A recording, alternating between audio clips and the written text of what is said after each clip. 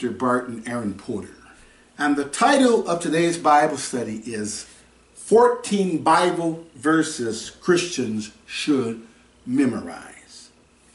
Today we're going to go into our Father's Word and we're going to look at 14 verses of Scripture that the Lord put upon my heart to use in this Bible study as scriptures that you should memorize, that you and I as believers should memorize. Now, I'm going to be using the good old King James Version of the Holy Bible as I always do. So I encourage you to get your Bibles out and to study along with me. Let's open with a word of prayer. Father God, in the name of our Lord and Savior, Yeshua HaMashiach, we thank you for another day and another opportunity to go into your word, the Holy Bible. I pray, Father, that you forgive me for my sins and forgive my audience for theirs. Wash us in the precious blood of the Lamb of God and make us clean. And fill us with the precious Holy Spirit sent down from heaven above, Father, as we go over these 14 vital scriptures that all Christians should memorize. In the name of our Lord and Savior, Yeshua HaMashiach. We thank you, Almighty God, Jehovah. Amen. Now, we're going to get right into this thing. We're going to get right down to the nitty gritty, right down to where the rubber meets the road, all right? The first verse of scripture that I feel every script, I mean, every Christian should know and memorize is 2 Timothy chapter 2, verse 15. And it reads, Study to show thyself approved unto God, a workman, and it also means woman, that needed not to be ashamed, rightly dividing the word of truth. Now, the reason why this is a verse of scripture that every Christian should memorize is because it tells us that when we are studying our Father's word, we are showing ourselves approved of God. God is pleased when he looks down and see you and I meditating in his word day and night. And he says we shouldn't be ashamed of this, okay? Because the Bible is nothing but a big love letter or, or book of instruction written from our Heavenly Father to every man and woman, every boy and girl that walks underneath the sun. And it is of the utmost importance that you and I learn what God wants us to learn from His Word. Because if you don't learn from His Word, then you are in no position to know what He wants. You see what I'm saying? You couldn't possibly even begin to know how to be a Christian if you don't study His Word to find out what He says. Okay? Um, that's why it says rightly dividing the Word. Okay? Because there are things that are written in the Old Testament that we no longer have to practice. This is what he means by rightly dividing the word. So every Christian should memorize this verse. Then James chapter 1 verse 22 is my second verse that I think every Christian should memorize. It says, "But be ye doers of the word and not hearers only, deceiving your own selves." You see that? So the apostle James says, but be ye doers of the word. That means practice what you learn from our Father's word and not hearers only. Don't be a person who just wants to hear something good to make you feel good, but you have no intention of taking it and putting it into practice. A lot of people go to so-called church for that reason, to get the ears tickled, to get a little spiritual entertainment. Uh-uh. The Lord is a God that says what he means and means what he says. And the Bible is a book of instructions. You know, somebody made up the acronym for the word Bible. Basic instructions before leaving earth. And that is very true. So you have to be a doer of the word and not a hearer only. Because if you are a person who just hears what God says and you're not living according to God's word, you're deceiving your own self. You think you have salvation, but you don't. Okay? Now, another verse that I think every Christian should know is John 3.16. That verse is Christ Jesus speaking of something that is of the utmost importance. And he says there, for God so loved the world, talking about God his Father, Jehovah, that he gave his only begotten Son. And Christ is the only begotten Son of Jehovah, okay? That whosoever believeth in him should not perish. You see that? But have everlasting life. This is a verse of scripture we should all memorize and share with others because it it's the gospel all summed up in one verse. God so loved the world. He loves this world so much that he did something about our fallen humanity, okay, into sin. We all were born sinners because of our foreparents, Adam and Eve, failed the test in the garden and ate from the tree of the knowledge of good and evil and became sinners and passed that sin upon their children. And so that's why we age, that's why we die, that's why we struggle with the flesh to do good. Anyway, God loved us so much that he did something about this. He gave us his only begotten son. That means he sent Jesus Christ, the one we call Jesus in the English tongue, into this world that he had a share in creating with his Father for the sole purpose of dying for our sins so that you and I could be forgiven of all our sins, declared righteous, and be put in the uh, position to receive everlasting life if we accept him as our Lord and Savior and learn his word and, and allow the Spirit to mold us. This verse is so very important. And then it says, uh, he gave his only begotten son that whosoever believeth, that's very important, in him should not perish but have everlasting life. So it's all about your belief in what Christ's blood accomplishes. His blood pays off our sin debt. We were ransomed with his blood. The blood of Jesus Christ, Yeshua HaMashiach, cleanses us from all sin. And because we put our faith in that blood that he shed, at Calvary, we are declared righteous. And so that brings me to my next verse of scripture that I believe every Christian should understand and memorize. Galatians 2 verse 16, the apostle Paul being guided by God's Spirit wrote there, knowing that a man, that means a woman too, is not justified. The word justified means to render innocent or declare somebody righteous. Knowing that a man or woman is not justified or declared righteous or rendered innocent by the works of the law, but by the faith of Jesus Christ. You see that? Even we have believed in Jesus Christ that we might be justified or declared righteous by the faith of Christ. The word faith simply means your belief in someone or something. And as Christians, we're talking about our belief in the Son of God as the Savior of the world. Anyway, he says, and not by the works of the law, for by the works of the law shall no flesh be justified. So it's vital that you and I memorize this verse of scripture because even though we have our Father's word, the word just gives us knowledge of the Messiah and what God wants us to do, but the word can't save us, not the written word. The living word of God, Yeshua HaMashiach, Jesus Christ, he the only one who can save us. And by putting our faith in what he did, we are saved. Okay? Very important that you understand that. Now, that doesn't mean that the law serves no purpose. The law still serves its purpose. It shows us right from wrong, and it shows us how to live holy. It also shows us that we're all sinners in need of Christ the Savior. And so this is a verse of scripture I believe every saint should memorize and put into practice. The next verse is Proverbs chapter 14, verse 12. And that there, King Solomon, being guided by God's Spirit, wrote, There is a way which seemeth right unto a man. It could be a woman too. But the end thereof, or the end of that way that seems right to that man or woman, are the ways of death. Now, this is of the utmost importance because we got a lot of people in this world who are totally ignorant of God and what their purpose for being here is. They think they're here just to do whatever they jolly well please. Well, the Bible clearly tells us there's a way that seemeth right unto a man or a woman, but the end of that way that seems right to them are the ways of death. You see that?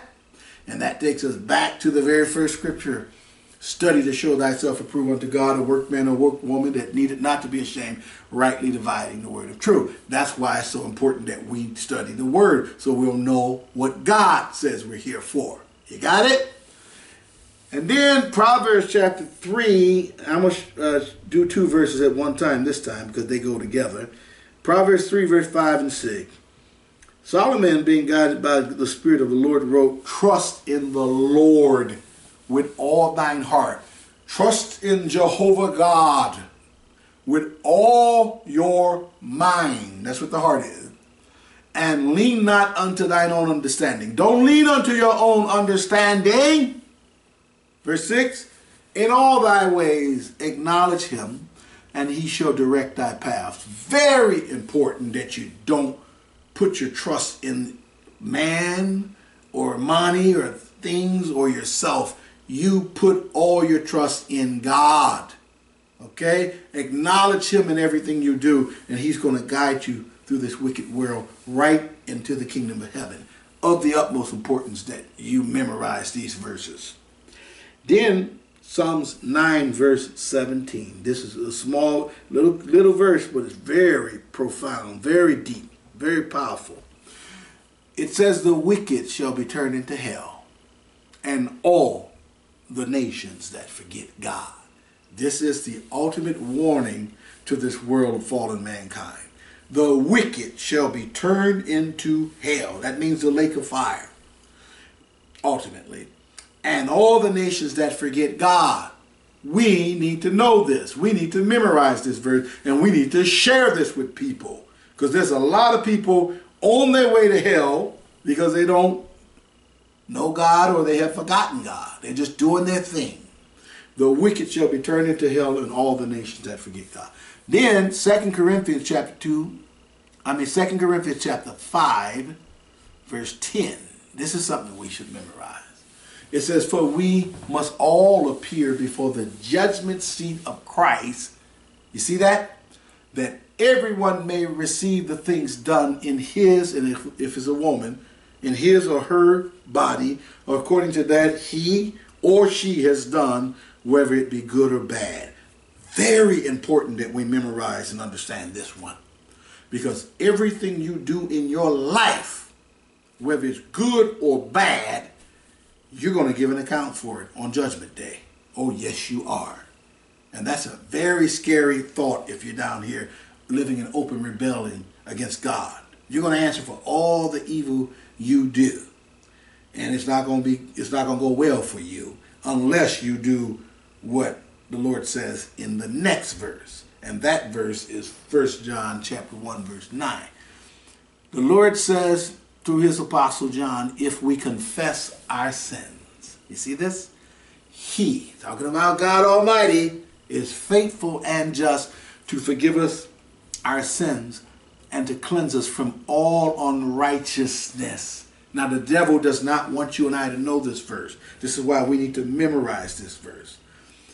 If we confess our sins, He, God Almighty, is faithful and just to forgive us our sins and to cleanse us from all unrighteousness. So if you and I accept Christ as our Lord and Savior and repent of all the evil we've done, admitting it to God, the Lord will forgive us for everything we've done wrong and he will wipe the slate clean. Let that sink in. This is a crucial verse for memorization and also to share with other people that don't know these things. Then 1 Corinthians 10 13. Oh, this is a powerful one. This is a powerful verse here. There, the apostle, being guided by the Spirit of God, wrote this. He says, There has no temptation taken you. This is Apostle Paul that God used to write this verse. He was guided by the Spirit of God. He's speaking to all of us. There has no temptation taken you but such as is common to man, which means mankind. He says, But God is faithful who will not suffer you to be tempted above that ye are able. God will not let the devil tempt you above something that you can handle. But will with the temptation but will with the temptation also make a way to escape, that ye or you may be able to bear it. Now, what this verse is saying to us is that whatever temptation comes to you, if you rely on God, you can turn away from it. That's what it's saying. God is not going to allow the devil to tempt you above something you can you can't handle. And with the temptation, when that test comes, he's always going to make a way out. So when you and I sin, it's because we didn't know this verse or we didn't put this into practice. You and I never have to yield to sin. Ever. That's why this verse is so important. Let me read it again. There is no temptation taking you but such as common to man. So when you're being tempted about whatever, it's nothing new under the sun. You, you don't think you're unique and that this is the most uh, tempting temptation ever put upon a man or woman. It's not. Satan doesn't have any new bag of tricks. He tempts people with all the same things. He says, but God is faithful. God is faithful. He will not suffer you to be tempted above that ye are able or you are able. God ain't going to let Satan put something upon you that you can't handle through his, through his help, of course. We'll get to that in a minute. But will with the temptation also make a way to escape. He'll always make a way out that ye may be able to bear it. And that's why he makes the way out. Now I'm going to give you an example. I don't have a problem with money or jealousy or anger anymore. Uh, lust. That's something that the devil had me in bondage to for many years. I should say that's something I allowed the devil to have me in bondage to. And he still brings it to me every morning. He hits me and throughout the day with lust, thoughts of lust, and, and, and putting, uh, parading women in front of me all the time. But because I understand this now, the Holy Spirit always gives me a way out. And I take it. And so that's what you and I are going to have to learn to do with whatever we're being tempted with. Okay? And if you don't, you're not going to be saved. Because the Lord says he's not going to let Satan tempt you above something you can't handle. So that means whatever temptations the enemy brings to you, God gives you the strength to turn away. Now this we're almost done. We got three more to complete my 14 verses. The next one is this, because it's crucial that you understand what I just said cannot be done apart from Christ. That's why Jesus said in John 15, verse 5, He said, I am the vine. Ye, which means you, are the branches. He or she that abideth in me, I and him or her, it always refers to the, the other sex. Even though he just says the masculine, he's always talking about men and women. He or she that abides with me, and I in him or her, the same bringeth forth much fruit. For without me, Jesus said, ye, which means you, can do nothing.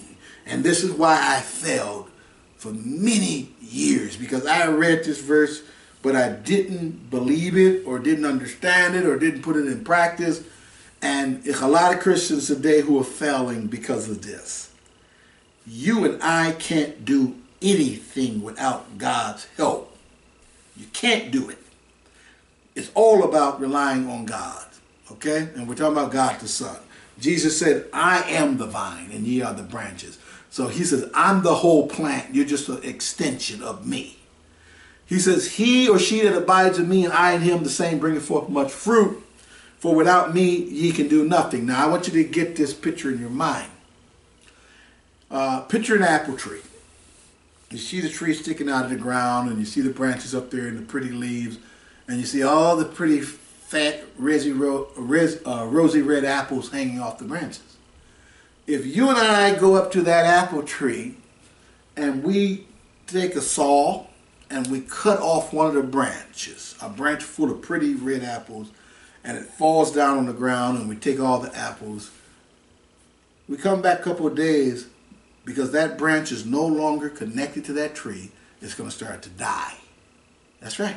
The leaves are going to wither and no more apples will grow on that branch because it's been severed from the tree. Okay? So if you and I disconnect ourselves from Jesus Christ, Yeshua HaMashiach in the Hebrew, is his true name, we are gonna we're gonna start to die spiritually. We're already dying physically, and we're not gonna make it in. So that's what Christ wants you to understand from this verse. And that's why it's so important that you memorize it, okay, and put it into practice. That's why Paul says in Philippians 4:13, my next verse, he says, I can do all things through Christ, which strengtheneth me. Now, notice the strengthening is an ongoing thing when you rely on Him. Okay? And so it's not a one time thing, it's an ongoing thing. Just like being a part of the vine, being a branch of the vine. The vine is the quintessential part of the whole plant. Okay, as long as the vine is alive and you're connected to it as a branch, you're going to produce fruit. So that's why Paul says, I can do all things through Christ, which strengtheneth me. And so can you and I. But it's not an automatic strengthening. And this is our last verse.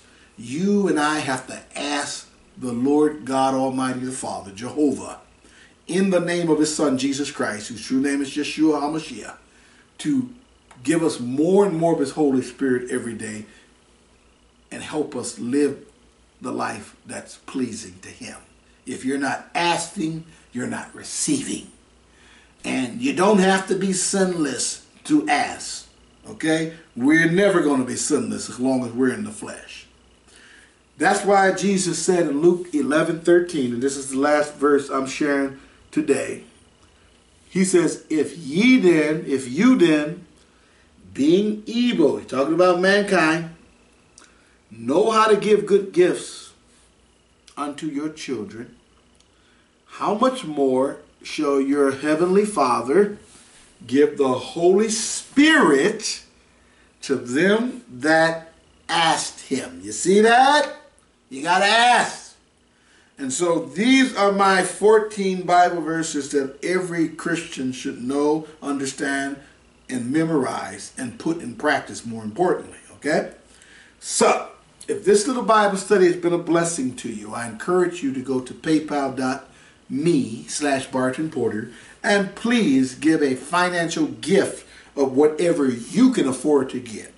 Whatever you give will be a tremendous blessing to me, all right? Now, I want to close this little Bible study with a prayer for those out there who are watching and who have been touched by the Spirit, who want to give their life to the Lord, okay? So if that be you, pray this prayer with me. Father God, in the name of our Lord and Savior, Yeshua HaMashiach, I ask that you forgive me for my sins, Lord. Wash me in his precious blood and make me clean. Fill me right now with your precious Holy Spirit, Lord, and start to mold and make me into the type of person that you want me to be. I accept your Son, Jesus, as my Lord and Savior today, Father. Come into my heart. Thank you right now, Father, for answering my prayer. In Yeshua HaMashiach's precious name I pray. Amen. If you prayed that prayer with me, you have just taken the first step to becoming a Christian. The most important step is the first step. Now, the next thing you need to do is find a Christian. It doesn't matter who it is. Any Christian has the authority of God to baptize you and get baptized in the name of the Father, the Son, and the Holy Spirit. That's the next thing you need to do. Then you need to start praying every day and studying our Father's Word so He can teach you more and more and ask God to guide you to a Bible believing, Bible teaching, Bible practicing only church. Okay? And if He does that, then you become a part of that church. Otherwise, just keep studying with me and ask God what He wants you to do. Because once He brings you in, He cleans you up, then He's going to put you to work. Okay? So, until next time, this is Minister Barton Aaron Porter saying, May the good Lord continue to bless you and keep you all the days of your life. God bless you and Goodbye.